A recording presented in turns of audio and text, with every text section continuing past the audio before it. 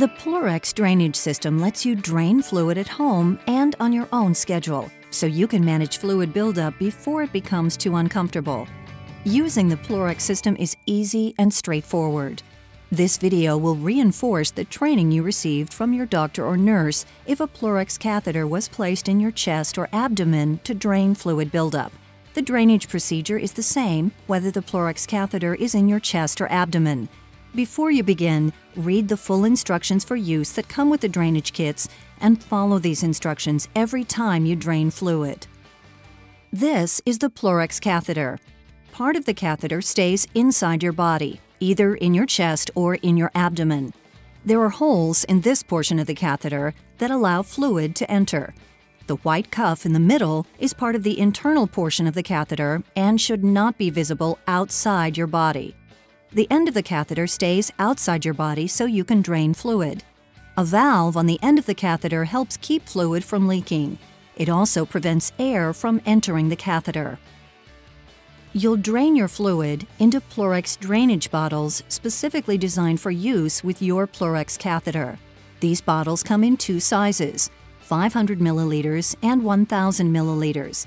Preparation and use of each bottle is the same regardless of size. The active vacuum technology in the PleurX bottles provides suction for drainage and allows you to place the bottle wherever it is most convenient during each drainage procedure. The drainage bottle features a drainage line, which you will connect to your catheter when you drain. The color of the fluid drained may vary. The PleurX bottles come in a drainage kit that is easy to use. The kit contains the sterile items you need to drain at home, including gloves, a new valve cap for the catheter, alcohol pads, gauze, a foam pad, and a sterile dressing. The kit also contains a blue emergency slide clamp. This clamp should be used only in an emergency to close the catheter if it is somehow cut or damaged. See the instructions for use for more information and notify your nurse or doctor immediately if you decide it is necessary to use the emergency clamp. You should drain as directed by your doctor, usually every one to two days. Do not change frequency or drain more fluid than your doctor has recommended without first consulting your doctor.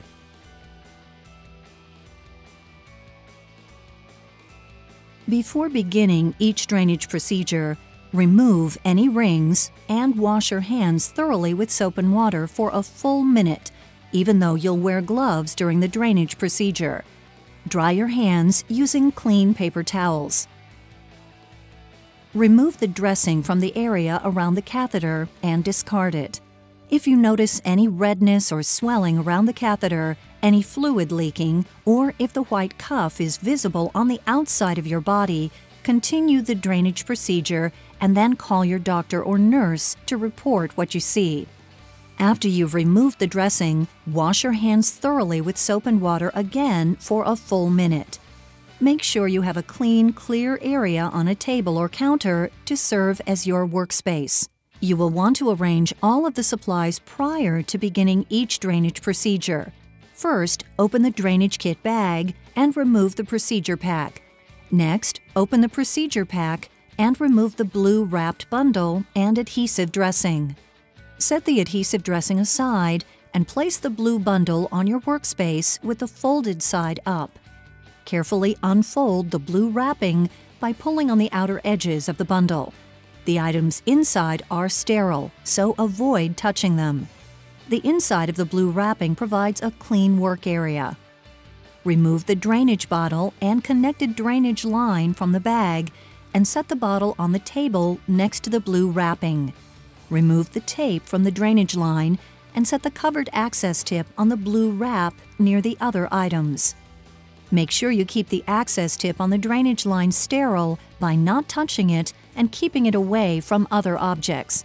The access tip should touch only the blue wrapping. If the cover has fallen off the access tip, do not touch the tip with your hands or anything non-sterile. Pick up a glove by the wrist and pull it on. Put on the second glove, holding it by the wrist. Both gloves fit either hand. Keep your gloves away from non-sterile items such as skin or clothing.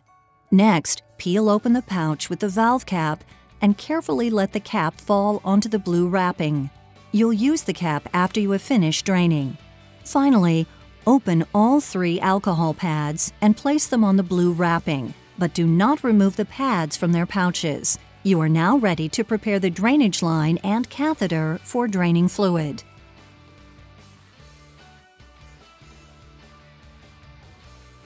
Tightly squeeze the clamp on the drainage line to completely close it. This clamp prevents drainage from starting until you're ready. Pick up the drainage line near the tip, twist the cover, and pull the cover off.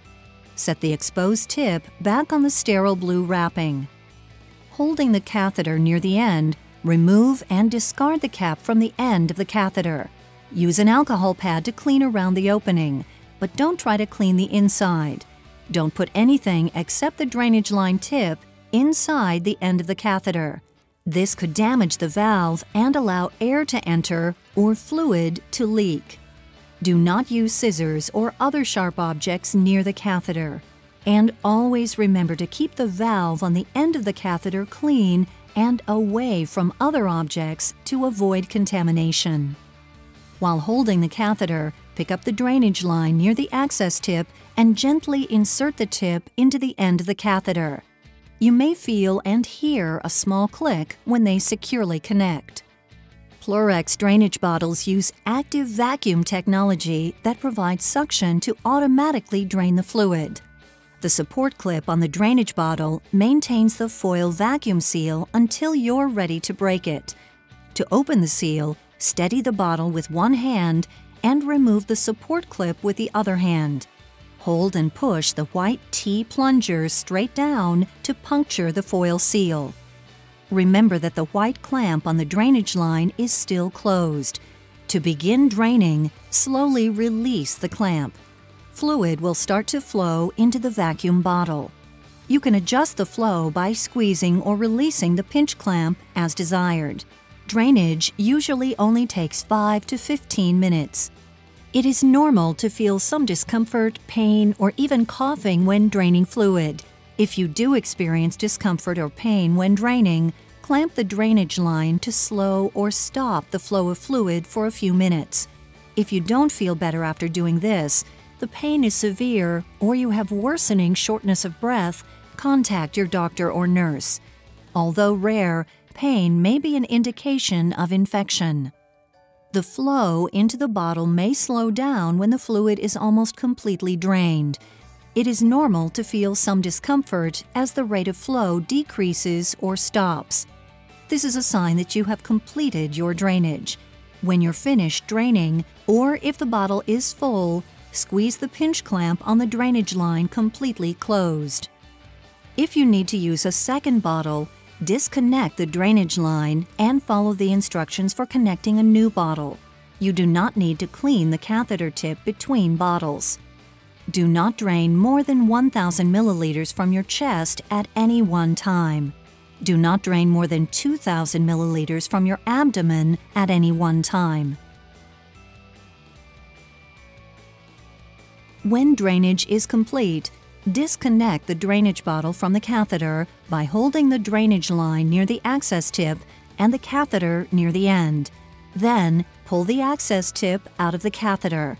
Clean around the opening of the catheter using a new alcohol pad and twist the new cap into place until you feel a slight click as the cap locks. Clean the skin around the catheter using the last alcohol pad.